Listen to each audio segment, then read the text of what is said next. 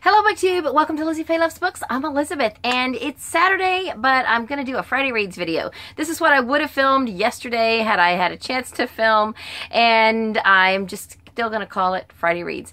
So this is basically the books that I finished during the last seven days and um, just want to tell you about them. So it's been a weird reading month already and this week even has just been kind of weird because I have had um, two books that I rated two stars just this week, and then um, another book that I'm certain will be one of my top five favorite books of the year. And earlier this month, I had another book that I'm certain will be one of my top five favorite books of the year. And also this month, I have DNF'd a book, which I don't usually do. So it's just been kind of a weird all around reading month. And um, I will just remind you of what I did not finish because I still have it checked out from the library. And it's the uh, Can You Forgive Her book by Anthony Trollope that Steve Donoghue is hosting the read along of. And um, I just, I tried, I got to a little over 100 pages.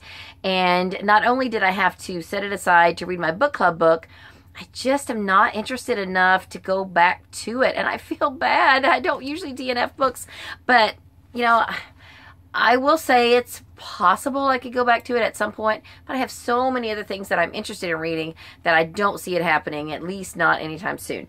So, uh, the other book that I really um, well, it's the, it's the, book club book. I had to put the uh, Trollope book aside to read this next one, and I was really just bored to death with it. or I shouldn't say bored to death. I'm still alive, but uh, really, really seriously bored with this book.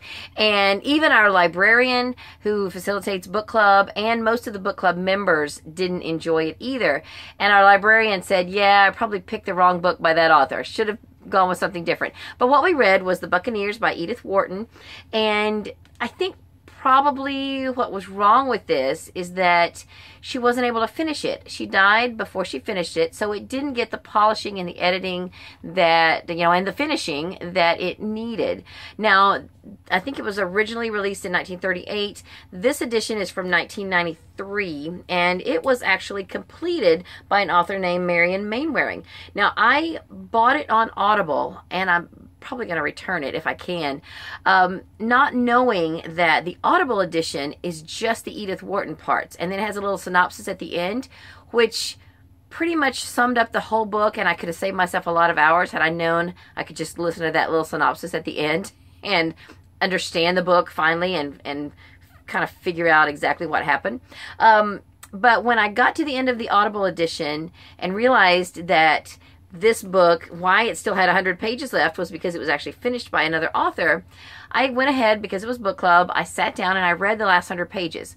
Those 100 pages I kind of enjoyed uh, to an extent, uh, much more than the first part of the book. So I don't know if it's just because it was historical or because it was actually boring or because that author writing style is just not for me or if it or if it wasn't or if it was just because it wasn't finished and polished. I don't know. But all of those things work together to make it really not a very enjoyable book, at least for me. So I'm not saying that I wouldn't read this author again. Um, maybe I would read Age of Innocence or Ethan Frome or something like that. Um, and give her another shot. So, but this book, The Buccaneers, I did not care for. Uh, quick synopsis it, there are some uh, young ladies from New York who are from new money, so they're not being accepted into society. So their mothers send them to England to try to marry well, and they marry a duke and a lord and just different people like that to try to up their social status. So um, that all was really pretty boring, and it was hard to follow too because for each of the five young ladies, they all had a nickname and then when they got married they had a married name and then sometimes you know it would they could legitimately each person could have like four names and you never it was just hard to follow. And then their mothers had you know names all these different names and um because every like i said everybody had a nickname and everybody had um you know, a married name and a given name and a maiden name, and it's just hard keeping everybody straight. Uh, finally, though, the last hundred pages centered around one of the young ladies who um, did something rather scandalous. And so that's what the last hundred pages was about. And that was actually pretty interesting. So, um, you know, if I had to read it again, I might get it a little more now that I've seen the end. You know, I, I might be able to follow it better, but I don't know. I'm not really interested in going back to it. Uh, I had another book that I rated two stars and for completely different reasons. I listened to an abridged version of Your Oasis on Flame Lake by Lorna Landvik. This is my third Lorna Landvik book, and um, I went ahead and listened to this abridged version on audio on Hoopla because that's what was available. And I thought, well, if I like it, then I can always go back and read the full edition, and I didn't really like it. It was it just made me feel icky. It was too angsty. These uh, women were unhappy in their marriages, and so there was affairs, and and not just the women. I mean, there were men too, obviously. If affairs, um, and they just seemed to try to justify it like that was okay, which it's. I personally don't think it's okay. And um, there was one interesting storyline about one of their daughters and how she wanted her stepfather to uh, adopt her and, and some different things going on with her and her life. That was a little more interesting, but I just didn't care for it enough. It's not my type of book. And uh, I thought it was well narrated. The author herself narrated it, and she did a great job. She's got a fun accent. It's like um, either Michigan or Wisconsin or Minnesotan or something like that is, is her accent. And um, uh, I thought it was cute. I enjoyed hearing her, but I didn't really care for the book. So then um, the books that I finished this week that I did enjoy, I finally finished the last Sunshine State book for this school year, and appropriately so because the new list was just announced. And so I am really looking forward to moving into those books. But sometime during middle grade May, I will do a wrap up video of all 15 of the books from this current school year. This was really neat. It brought up a lot of historical references to the Cold War and um, and about the the fears that people had that there was going to be a nuclear attack and um, you know building bunkers underground and it has something to do with that. But there were parts of it that were a little slow, but I thought it was very interesting, very intriguing, and um, I, I don't want to tell you much about it, but I will just say that it does involve some underground places and interesting things and it, was very intense.